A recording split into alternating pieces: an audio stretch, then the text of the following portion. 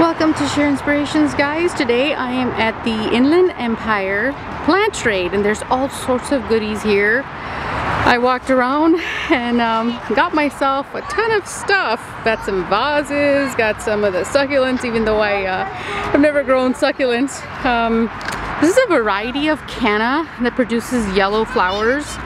Um, and got a, got some uh, limes in there, got a spider plant in there, um, and yeah, good stuff.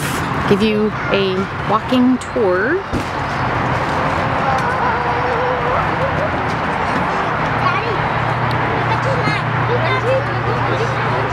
So if you're in the area, do come on out and uh, get get some stuff. A lot of stuff is not um, trade required.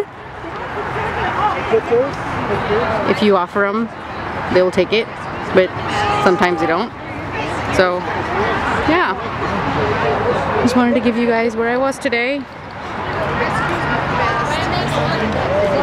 Alright guys, see you in the next video. Bye.